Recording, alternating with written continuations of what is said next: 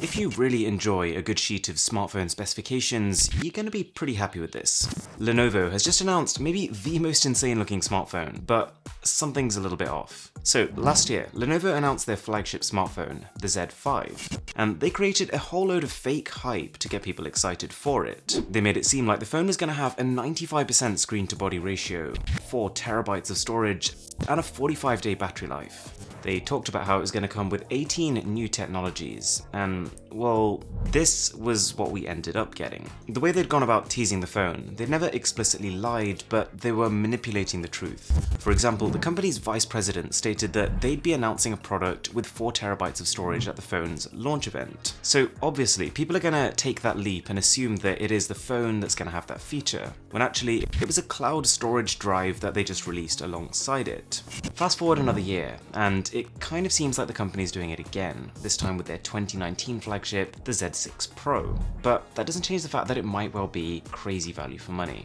First things first, it's got the Snapdragon 855 paired with up to 12 gigs of RAM and 512 gigs of storage. And we've already seen its supposed Antutu benchmark score of, wait for it, 403,077. That would make it a world leader in performance, with even a 10% gap over the Xiaomi Mi 9. It'd be pairing that with PC quality liquid cooling to sustain that performance, and that's not a small feat, and it's actually only the start of a really impressive spec sheet. It supports 27 watt fast charging, so more powerful than OnePlus's Dash Charge, and pretty close to their new Warp Charge 30 standard, plus a weighty 4000 mAh battery. You're getting Dolby Atmos audio, the latest Android 9, and an in-display fingerprint scanner that supposedly works even with wet fingers. It's even got a 6.4 inch AMOLED display with support for high contrast HDR10 content.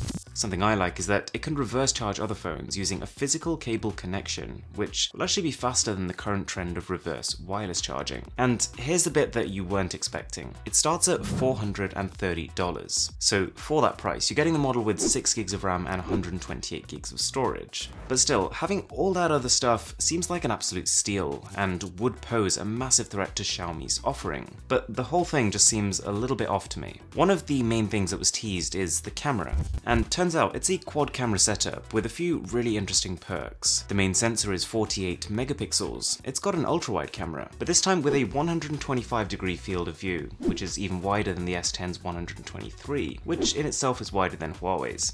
This means it can not just capture even wider shots, but can also get closer to subjects. It doubles as the super macro camera. The third lens is a telephoto, and the fourth one, it's something they call the super video camera, and it is just there for video enhancements.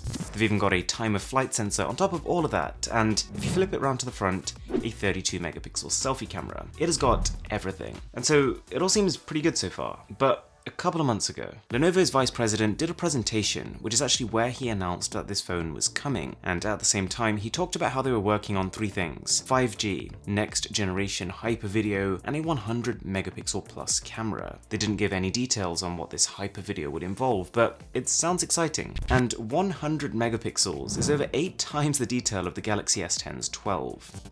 So, in exactly the same way as happened with the Z5 last year and its supposed 4TB of storage, people got really hyped for this phone.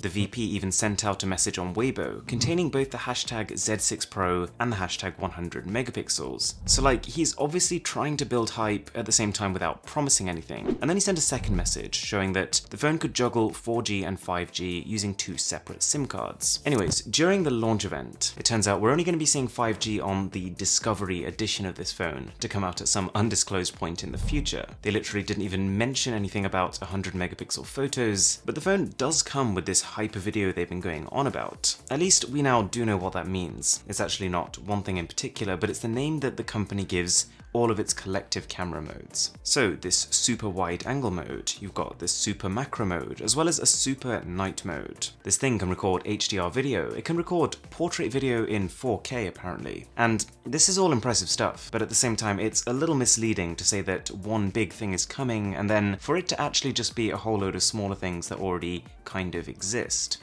One thing of note, which they didn't mention, is that the main supposed 48 megapixel camera this phone has is based on the Samsung GM1 sensor, a weaker sensor that we've actually seen in even cheaper phones, and it can't actually capture true 48 megapixel shots without using software to piece things together. So let alone 100 megapixels, even 48 is kind of a stretch here. But it actually gets stranger.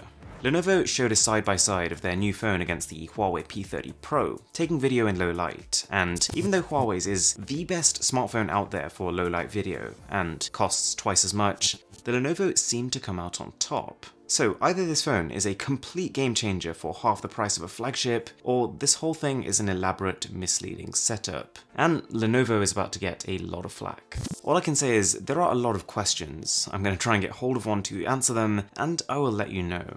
If you enjoyed this video, it'd be massively appreciated if you could subscribe to the channel. And in the meantime, I'm off to find some dodgy Chinese retailer so I can try and import this thing.